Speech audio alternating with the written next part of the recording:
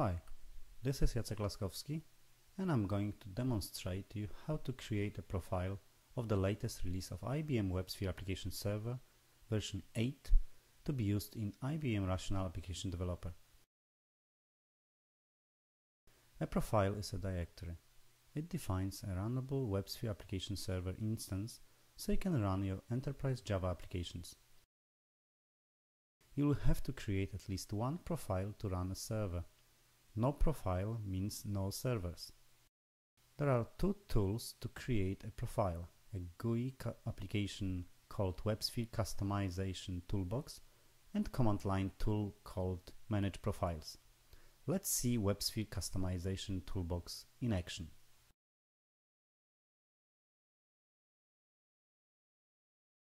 With Rational Application Developer installed, there are a few menus you can use to launch different tools that come with the product.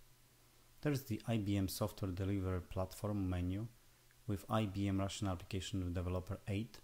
There is IBM WebSphere menu with IBM WebSphere Application Server v8.0 submenu, where you can find tools with Profile Management Tool, which is the former name for the current WebSphere Customization Toolbox. There is my IBM Installation Manager for launching the tool and the Programming and System Tools menus with a couple of shortcuts to the different Rational Application Developers auxiliary tools available. Let's use the WebSphere Customization Toolbox which has formerly been known as Profile Management Tool. Press Create button to start the process. Choose Application Server and click Next twice until you will be presented Administrative Security panel. Enter administrative username and password and press Next button. Review the settings and once verified, submit with the Create button.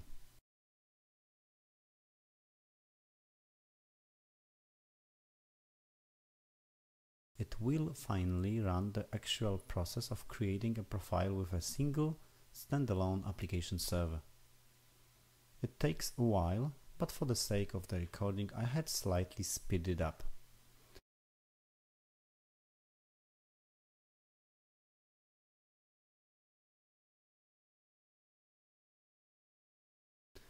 When in the Profile Creation Complete panel, uncheck the Launch the first steps console checkbox and press Finish button. You can see the profile being an application server profile that's created in the profiles app as rv01 subdirectory. Exit the tool. Run IBM Rational Application Developer.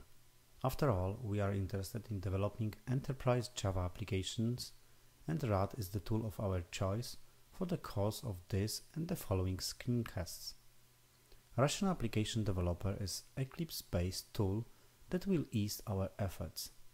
At startup, RAD will recognize the just created application server, so all we've to do to register it is to press Next button, provide the administrative username and password, and finally press Finish.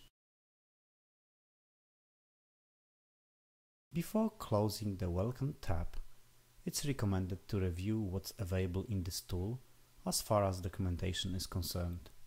There are different sections that will surely suit most of our learning needs. Despite its bias towards IBM products, specifically RAD and WAS, it's highly informative with regard to the Java Enterprise Edition 6 spec.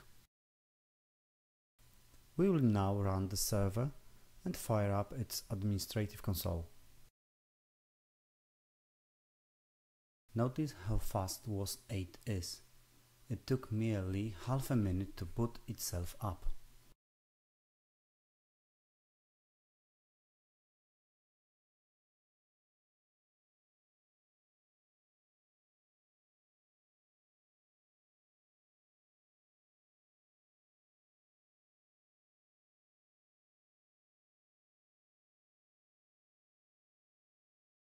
When you see the message Server Server 1 open for e-business, you can be sure it's really started up.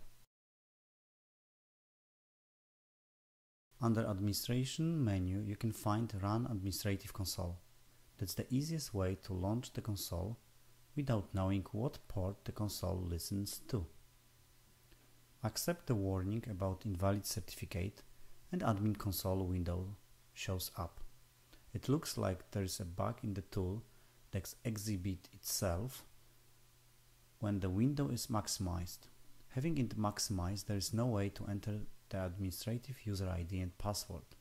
You will have to rerun the administrative console and enter the credentials before maximizing the window.